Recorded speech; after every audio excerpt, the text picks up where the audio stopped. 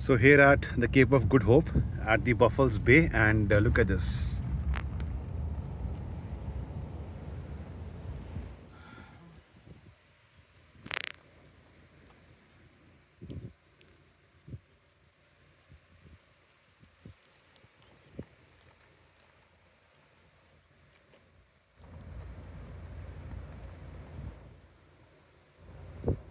We have the sea on the left and we have these wild ostriches next to us